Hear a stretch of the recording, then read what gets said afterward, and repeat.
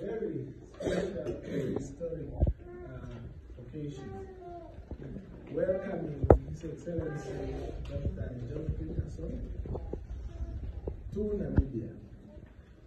This is occurring shortly after we concluded the COP process, COP23 process in Johannesburg. And Dr. Peterson made a commitment in that meeting that